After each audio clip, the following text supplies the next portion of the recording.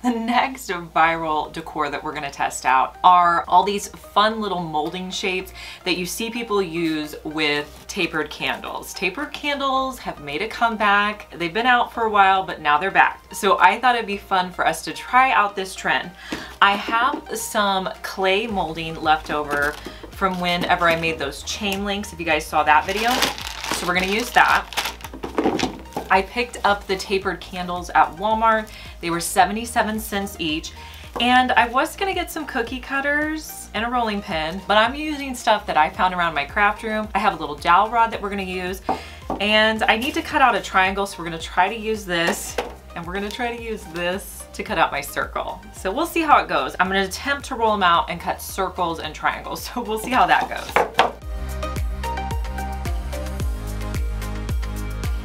So I actually want my dough to be pretty thick. So I'm only going to roll it out till it's about one inch in thickness.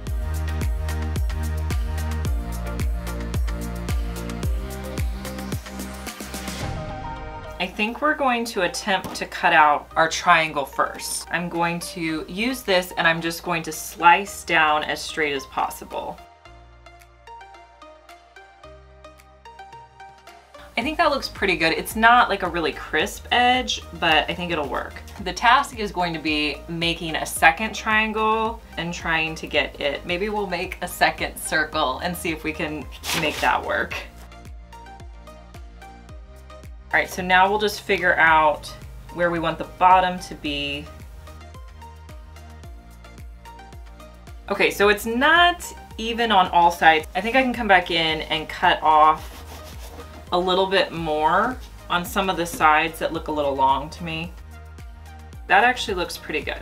Okay, so then the next step is to make sure that your tapered candle is going to fit in the center. So I don't know if this is gonna require that we cut it out or if we could just stick it in there. We'll see. My Walmart didn't have a huge selection in candle color. You may have to go somewhere like Hobby Lobby or buy them on Amazon. I think the Walmart I went to only had gray, blue, white, and like a burgundy. I'm just gonna try to kind of smush it down and see if that works. Like we're gonna have to make it big enough so it'll stand up. I think that actually works.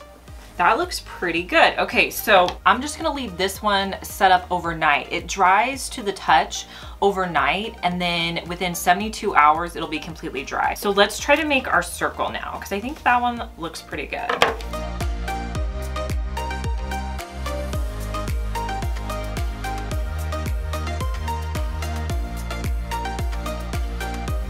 I'm gonna try to make them the same thickness this is a little thin, so I don't think I wanna go any farther. So let's see if this works. I don't know, you guys. All right, so I'm just taking, this is painter's tape. I'm just gonna push it down. I'm gonna kind of push it on the back to see if we can push it through. If you had a cookie cutter, it'd probably work better, but kind of using what we have. Okay, that didn't work so great. I think what I'm gonna do, I'm gonna trim off the excess before I pull it out.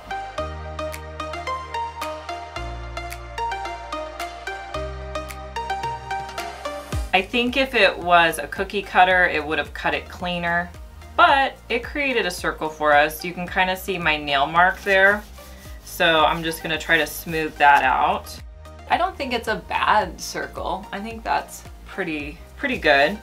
All right, so we'll do the same step. We're gonna stick our candle down in the clay.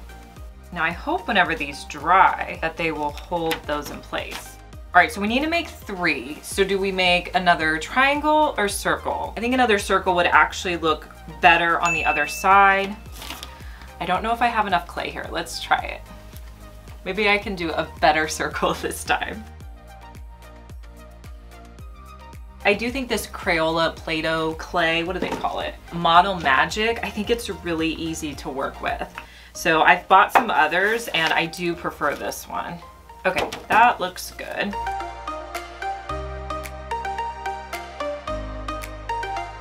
Okay, then I'm just gonna go in and trim around the edges. So to make the three of those, I only used one container of the Model Magic. I'm gonna let these dry overnight. Tomorrow I'm gonna come back and paint them and then I'll show you the final reveal.